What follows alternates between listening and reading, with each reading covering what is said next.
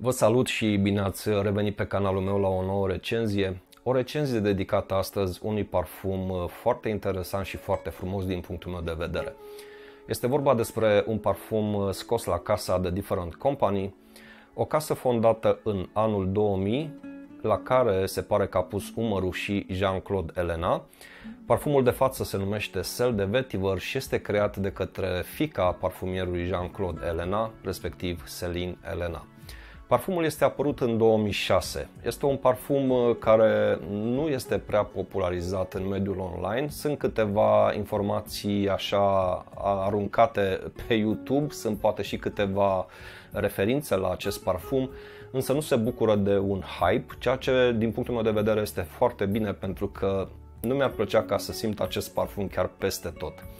Este un parfum care cât de curând, cu prima ocazie când voi găsi o ofertă adecvată, îl voi cumpăra pentru că este un parfum care performează bine în cazul meu, miroase impecabil și sunt niște elemente în parfum care mie îmi plac în mod special în parfumerie.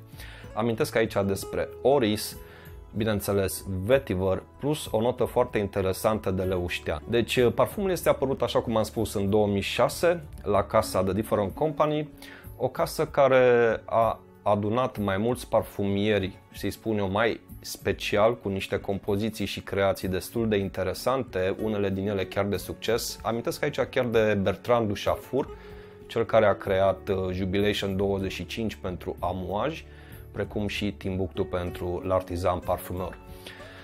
Bineînțeles că sunt și alte parfumuri create de Bertrand și la această casă, precum și de Celine Elena. Aici amintesc în special de Pure Ev și de Bakhmakov, două parfumuri care se bucură de o atenție destul de mare în uh, mediul online și ca atare, cu prima ocazie, dacă îmi vor intra pe mână niște eșantioane, voi face niște recenzii și pentru acele parfumuri.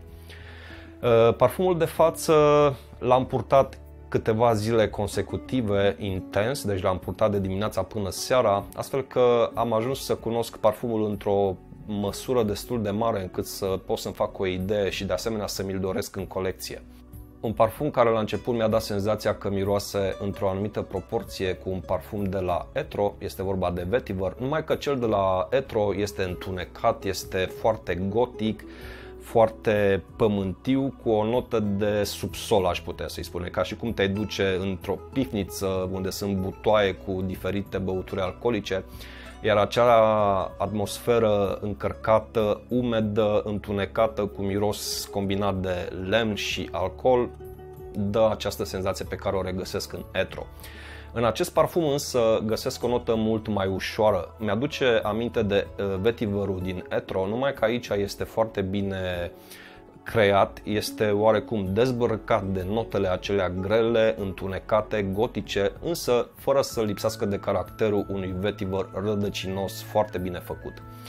Parfumul are o deschidere citrat condimentată. Regăsim uh, de asemenea grapefruit în combinație cu cardamonul, note care le găsesc similare cu deschiderea pe care am întâlnit-o de asemenea în uh, You or Someone Like You de la Eta Libre d'Orange.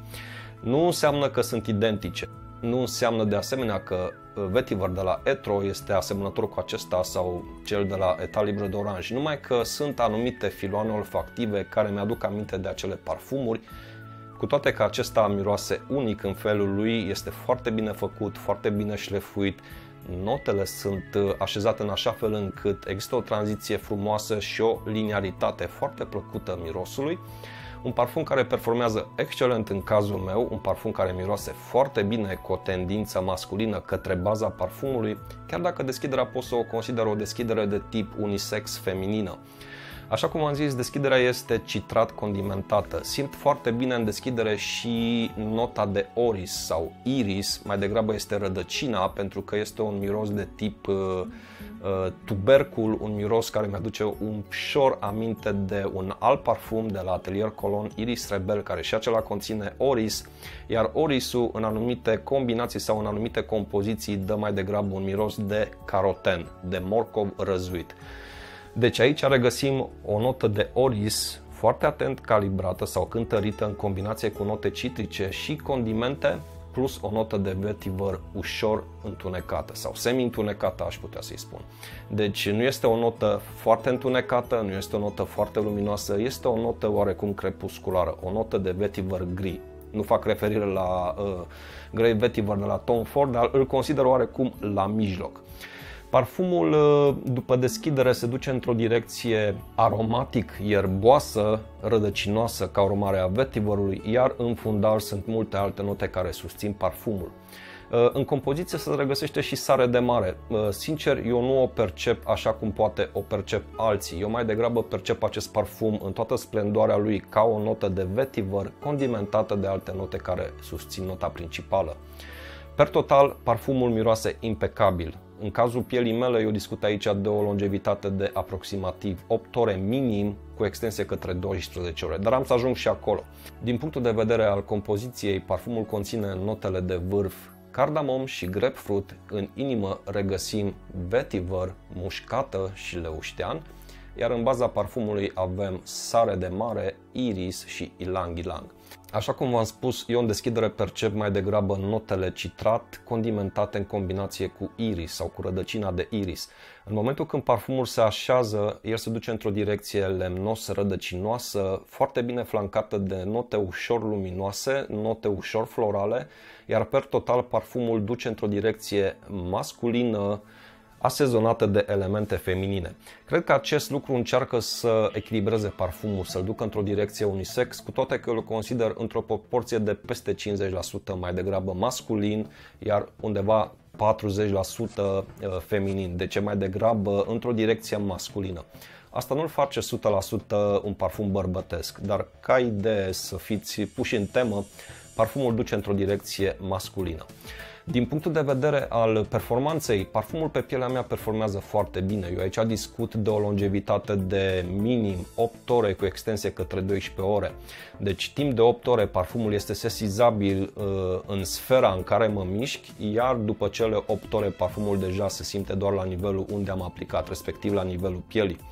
Proiecția este foarte bună pentru primele două ore. Timp de două ore parfumul proiectează, este sesizabil dincolo, să-i spun eu, de o sferă sau de o lungime de braț, iar după cele trei ore parfumul începe să se contracte și să se apropie de nivelul unde am aplicat astfel că la 8 ore deja parfumul este slab sesizabil în jurul meu, iar după cele 8 ore este doar sesizabil în zona unde am aplicat, ducându-se cu longevitatea până în marja de 12 ore, când după 12 ore este foarte, foarte slab perceptibil și la nivelul pielii. Deci un parfum care performează foarte bine în cazul meu și de aceea îl consider foarte potrivit și de asemenea o piesă de rezistență dacă îmi doresc acest parfum în colecție. Din punctul de vedere al vârstei și al perioadei când poate fi purtat, îl consider un parfum de la un 25 de ani în sus, iar ca sezon sau ca anotimpuri, când îl găsesc foarte potrivit în a fi purtat, îl văd mai degrabă toamnă, primăvară cu predilecție cu siguranță vara când este mai răcoare, de asemenea iarna dacă lucrați în interior.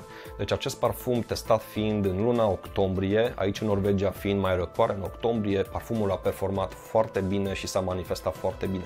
Cu siguranță că și la o temperatură mai ridicată, undeva la 20-25 de grade, parfumul este foarte bun, însă nu-l văd foarte potrivit pentru temperaturi foarte calde, pentru că există acele note florale care s-ar putea să nu dea bine când este foarte cald afară, ci mai degrabă când sunt temperaturi moderate.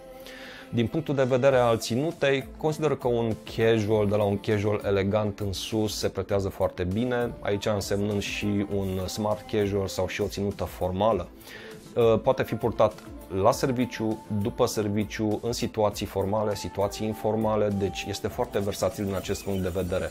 Din uh, punctul de vedere al cantităților în care vine încapsulat, vine încapsulat în două cantități, 50 și 100 de mililitri, cu prețul care variază între 130 de euro și 210 euro preț de retail. Am văzut că pe anumite site-uri, atât în țară, în România, cât și în Europa de vest, funcție de perioadă, funcție de site sau de discounter, prețurile se duc undeva la 30-40% sub prețul de retail. Astfel că pentru sticla 200 de ml e posibil să se plătească undeva la 120-130 de euro, ceea ce este un preț foarte bun, trebuie să recunosc. Uh, dacă este să trag o concluzie și să-i dau o notă parfumului, aș putea să zic că este un parfum care miroase foarte bine, un parfum care este versatil, un parfum care poate fi purtat de oricine de la 25 de ani în sus. Categoric îl recomand în a fi testat pentru că e posibil să nu pice bine chiar pe oricine, indiferent de ceea ce citește sau de ceea ce vizionează.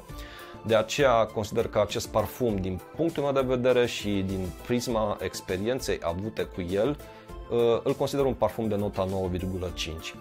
Mie personal acest parfum îmi place, dacă este să-l compar cu Etro Vetiver, care și acela e un parfum excelent, acest parfum îl consider mult mai calibrat pe temperamentul meu și pe gustul meu. Nu zic că Etro Vetiver este un parfum care nu merită atenția, nu, dar puse amândouă, unul lângă altul, mai degrabă m-aș duce către acest parfum Sel de Vetiver decât către Etro Vetiver.